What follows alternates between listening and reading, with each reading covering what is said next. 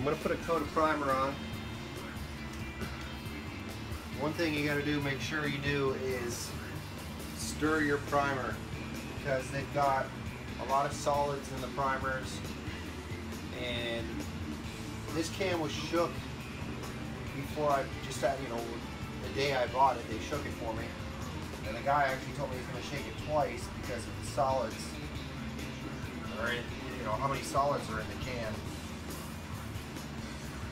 And I used it maybe three days, two days after that, and it was still a good inch of uh, solids on the bottom. So I've stirred it up a couple times since then. But you definitely want to stir it up.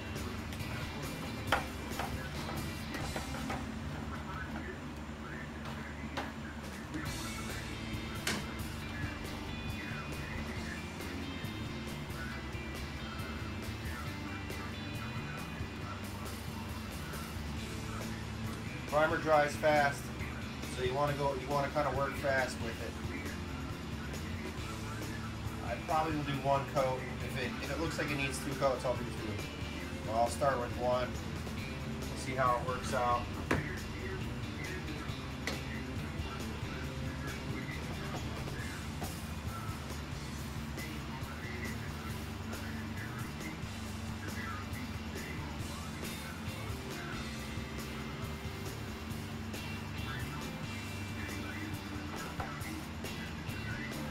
I have a feeling I'm gonna have to get my respirator because I can tell already. This stuff is strong.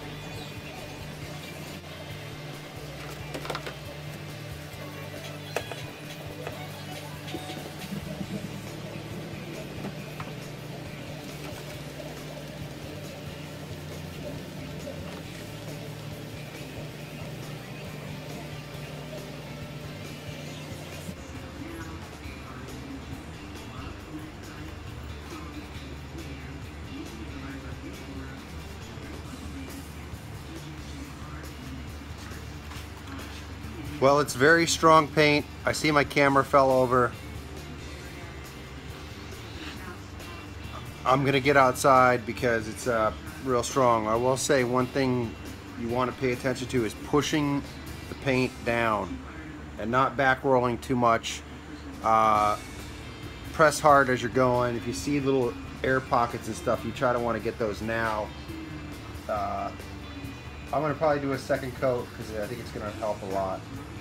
I didn't have a lot of debris, which was great.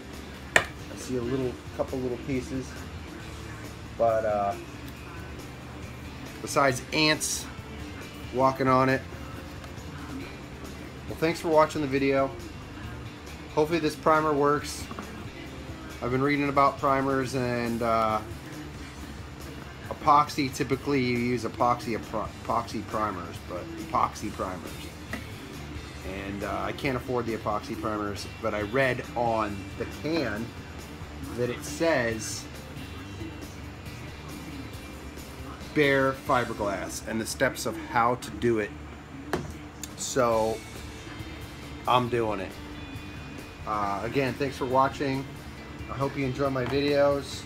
I hope they're helping somebody else out, deciding on if they want to fix their boat floor or not. It's not as bad as it, as it looks. It's time consuming. And if you do it on a budget, it doesn't kill you in the end. I don't really know how much I've spent so far at this point, but I'd say close to 300 bucks, I'd say. and that's that's doing it on a on a on a budget. All right, thanks for watching, guys.